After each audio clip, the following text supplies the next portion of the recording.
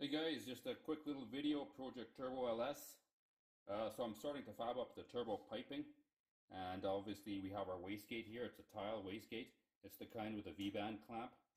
So the tough part here is once you get the, uh, the lower uh, V-band on here, you weld it on, and then to put the uh, actual wastegate on, the problem is once you have the seat in there, it's actually sitting off of the lower V-band flange, about uh, you know about 50 thousandths of an inch, and it's super hard to press this down and tighten this fastener here to attach this clamp around the around both V-band faces because of the spring pressure exerted by the diaphragm here. So what I've got is I've devised a system using air pressure here, and I think you guys can see this. Once I actuate this, it'll lift the yeah, it'll lift the valve off of the uh, the seat, and this way both the top and bottom V-bands are basically touching each other and you can put this clamp on super easily. So this is what I had to do to do this. Because if you try to do that without that, depending on how much spring pressure you have on your diaphragm, you'll never get it because it's super tough. But just use a little bit of air pressure. And of course, people, I've reduced my air pressure on the uh, compressor to about uh, 12 psi, 15 psi, because you don't want to destroy this diaphragm in there. So I got the air pressure going, and you can see how it's lifted off the seat. So it was really easy to put this clamp on because if it wasn't lifted, you'd have to uh, fight to get both seats or both seat faces touching before you can get this clamp on. So now we've got the air pressure holding the, the valve inside off of the seat and it was really easy to put this clamp on. So again guys, this is a really nice procedure to uh, install your uh, your wastegate that has uh, the V-band flange system versus the, uh, the screw-on type. Hey guys, just uh, additional scene here for the our wastegate install procedure. Okay, so the problem here is we've got a Tial wastegate and we've got some pretty high spring pressure in here. I think, I believe, it's not that high, but I believe right now it's got a it's got a combination of springs, two of them that equal about 12 psi. So the, the problem here is these two, once we have the seat in here, this little guy here, to seal our, our valve, basically when there's no seat, it's easy to put them together like this and then put our V-band flange clamp on. See how it goes on there? No problem.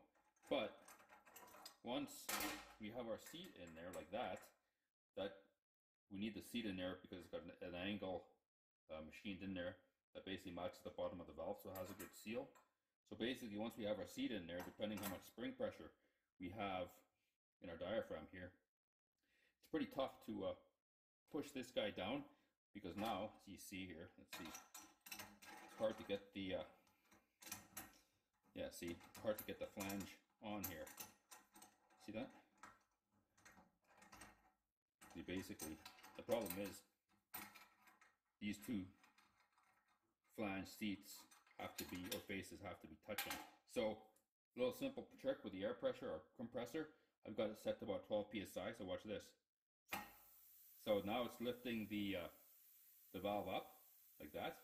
And as you can see, our flange faces on the V-bands, they're both touching. So we should be able to get that, uh, that clamp on pretty easy. Okay, so there we go. So let's just get this guy on. See if I can do this one-handed. Probably can't, but we'll see.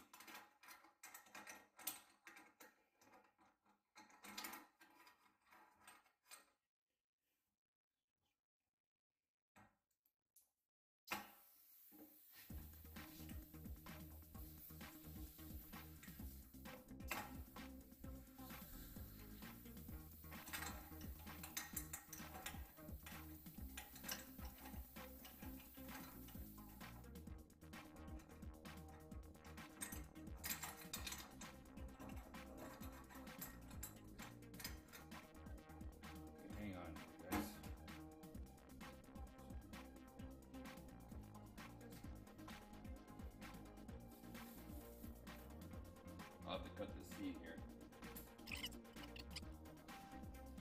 Let's just get our seats on there.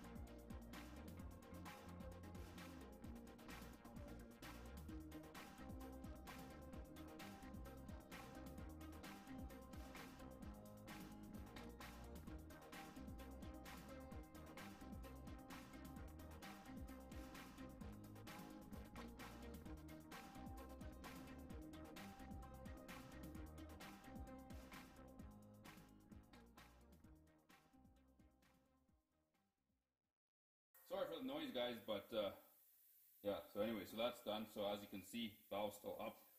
I hope you can see that. I think yeah, you guys can see that. Anyway, so that's the procedure. So we'll just take this guy off here.